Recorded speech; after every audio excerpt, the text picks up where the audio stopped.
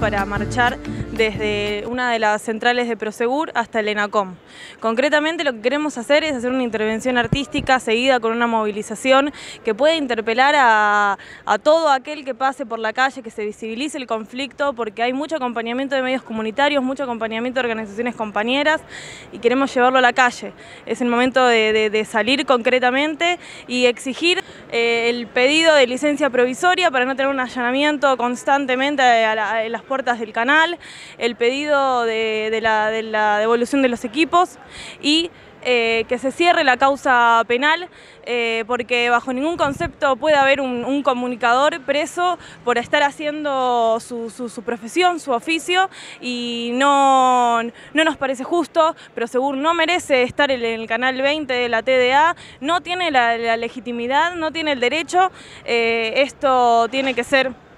para los medios comunitarios y que se respete el 33% de, la ley de comunicación audiovisual. Eh, nuevamente Antena Negra TV fue criminalizada, nos quisieron allanar, dieron de baja el allanamiento, pero nos pidieron que devolvamos el equipo, es decir que de todas formas no estamos transmitiendo en el aire, esto fue una violencia solapada por parte de la justicia y por parte de la empresa de seguridad privada Prosegur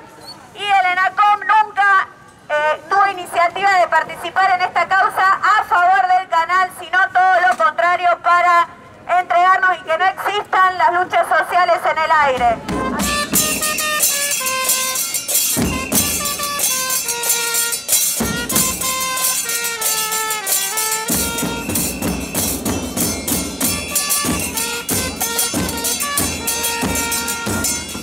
Bueno, después del decomiso del 4 de septiembre, nosotros tuvimos un sobreseimiento de primera instancia. A partir de ahí tuvimos la devolución de equipos y pudimos volver al aire el 19 de diciembre.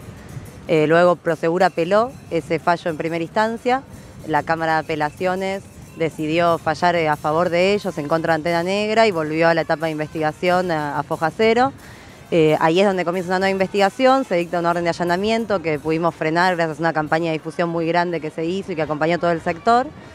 pero nos exigieron la devolución de equipos en 48 horas con el riesgo de que la persona que estaba imputada vaya a la cárcel, así que decidimos apagar los equipos y salir momentáneamente del aire, entregarlos. En esa instancia estamos ahora, transmitiendo solo por streaming. Eh, lo que sucedió nuevamente es que se presentó la persona a declarar, se le dictó el procesamiento, es decir, que va a juicio, y se imputó a una compañera más.